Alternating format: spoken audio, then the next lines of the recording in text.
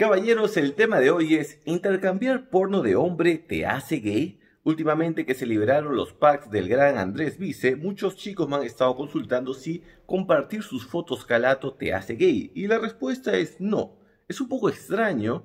Es como que tienes la cabecita de la verga en el culo y solo falta que te empujen, pero no te hace gay. Y no quiere decir de que te guste el pene gordo, sino que simplemente puede ser de que o te dio curiosidad, aunque es un poco extraño, también de repente te dio curiosidad cuánto le mide la verga o algo así.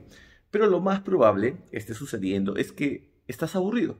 Y es probable. Cuando uno está aburrido empieza a hacer estupideces. Cuando uno está aburrido empieza a eh, jalarse la paja, a hacerse masturbaciones así en maratones, empieza a consumir drogas que no son, le escribes a la gorda que nunca le escribías y todo esto tiene sentido ahora que estamos en la buena cuarentena. Así que no te sientas mal, no cuestiones tu sexualidad.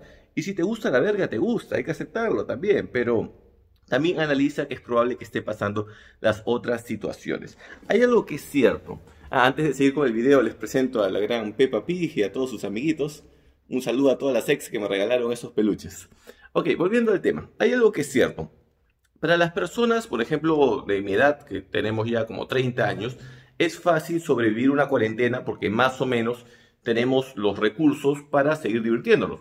Yo tengo un pequeño gimnasio acá en la casa, tengo la posibilidad de traer las cachetonas acá al, gimnasio, pero para alguien que de repente, para la mayoría de personas que ve este canal que tiene entre 20 y 25 años, siguen en la universidad o el prostituto, y es un poco jodido todo este asunto de la pandemia. Pero hay algo que les recomiendo. Para que ustedes pierdan un poco de miedo a este asunto de la enfermedad, es bueno trabajar lo que es tu sistema inmunológico. En la mayoría de medios de comunicación te van a meter terror, te van a mostrar todos los muertos, pero poca gente te habla cómo trabajar tu sistema inmunológico, que creo que debería ser algo que todos deberían de informar en todos los medios de comunicación. Así que como poca gente lo hace, dije, ¿por qué no hacerlo acá en este buen canal donde difundimos las buenas costumbres y valores? Por si acaso toda esta información que estoy dando la voy a colgar después en mi emisora. Estoy como José Balta en Spotify, me encuentran, pueden tipear mi nombre. O si no, digitan el URL tío69.com. Empezamos. Si tú quieres mejorar tu sistema inmunológico, todos sabemos que la vitamina C es básica. Así que todo el día chapa tu limonada y vas tomando tu limonada todo el día. Eso no va a impedir que te mueras, porque puede ser que te mueras también, pero va a de alguna manera reducir las posibilidades de que pases a mejor vida. ¿ok? El siguiente tip muy sencillo es darle tu vitamina D, D de dedo. Sobre todo las chicas que están viendo, puro dedo en estas fechas, D de dedo. Eh, ¿Cómo la consigues? Sales a la calle, y al momento que el sol te cae vas a recibir tu buena vitamina D. Si te da un poquito de miedo salir, puedes salir calato o calata del techo de tu casa y ahí recibes unos 10 o 15 minutos diarios de sol y con eso tienes tu vitamina D. Más bien ahora que suban a sus techos y salen desnudos y los está mirando la vecina, pídanle permiso, dígale, amiguita, ¿te puedo acosar o no? Porque está de moda este asunto del, del acoso sexual. Vitamina C y vitamina D básico. Hagan un poquito de ejercicio, manténganse en movimiento, que es básico también, y luego traten de estar en contacto con otras personas. Este asunto de la cuarentena nos ha, hecho creer muchas veces de que, ok, tenemos que aislarnos totalmente, pero no es así. El día de ayer mi compañero de colegio, Germán, vino a visitarme, no entró a la casa, se quedó afuera, nos quedamos conversando a, a dos metros de distancia en la puerta de la casa, pero ya es un contacto social.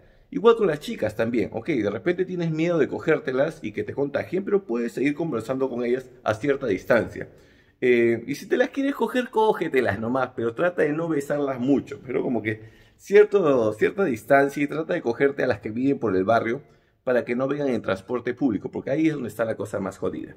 Pero eh, cerrando el tema del asunto de la homosexualidad, si es que te gustan los packs de hombres, eh, puedes estar seguro que no, pero te recomiendo de que analices si tu tiempo está bien ocupado o no. Si sientes que tienes mucho tiempo libre, este asunto de los packs de hombres es uno de los tantos que va a pasar por tu vida. Todos tenemos estas épocas donde a veces nos cuestionamos muchas cosas. Me pasó, recuerdo cuando pasaba de 20 a 30 años, cuando pasé a base 3, me sentí un poco extraño. Dije, oye, creo que estoy viejo.